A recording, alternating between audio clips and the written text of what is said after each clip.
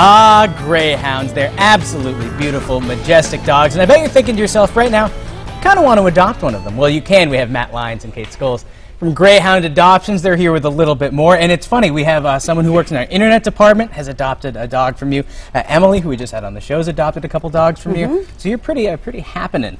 We in this neck are. of the We're woods. in the, yes. Uh, let's talk about the organization first. For those of us who don't know, what is Greyhound Options? What do you So do? basically, Greyhound Options is an all-volunteer nonprofit organization, Mm-hmm. um, and our mission really is to rehome retired greyhounds.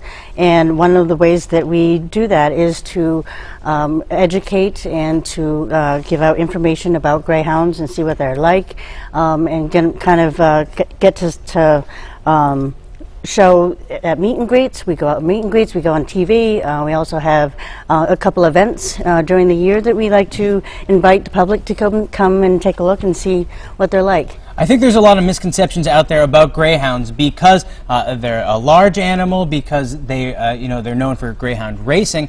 A lot of people think that they're active dogs. They need active homes. They're really on, they're they're known as um, 45 mile uh, couch potatoes. Um, basically, they're they're sprinters, not long distance runners. So basically, a couple of walks during the day. Um, um, and pretty much they will, if they find a couch or a bed, they that's pretty much where they're, th- they like to stay. Well, it's funny because I was I was talking to you earlier, and I said, well, for those times that they do need to get a run, are they dogs that can't really work in apartments? And that's not true. Dogs they work great in apartments. Yeah, um, many of our adopters uh, either live in uh, condos or apartments, and um, you know they um, really just need a, a spot for bed, and they love um, going out for walks, um, even more than running. I think. I Um, said, look at it, and they're not even uh, they're not even turned No, off by all these studio even. lights. They're just No, they're pretty um, relaxed, yeah. Now you were saying you were mentioning how you have a, a bunch of events throughout the year. We do. and uh, that's part of the reason. I don't know if it's all of the reason, but part of the reason that you're dressed in the attire that you are. You have a golf tournament coming up. Tell us a little bit about it. Um, yeah, uh, usually this is my, my daily So your- outfit. your workwear? But uh, yeah, we do have a golf tournament coming up. Uh, it's on July 11th. It's at uh, the East Mountain uh, Country Club in Westfield. Uh, it's one uh, one o'clock shotgun start, um, and we're taking applications. You can uh, go to our website greyhoundoptions.org, and under the events section, um, find the application. Um, and uh, yeah, it's, I, I've been there uh, four years now, and um, it's always a fun time. And um, you know, we'll raise some more money uh, to take care of um, all these dogs. Now, what do you love about greyhounds? I know that, that obviously the two of you love them. What do you think people at home? Uh, what what do they like about them so much? Um, I, I think in general they're they're very very smart dogs. They're very um, affectionate. They're very loyal, um, and you know they, they form a very strong bond. And they come in all different shapes, sizes, colors, personalities.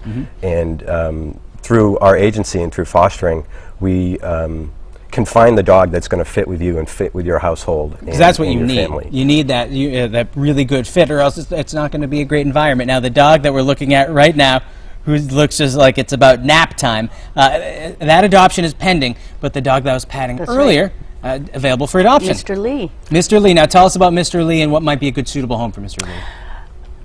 Um, he he's um, been in foster care um, for uh, a little while now, and we've gotten a good idea of um, of what type of home he'd fit into. Um, He's so relaxed. He's he's very relaxed. He's very easygoing.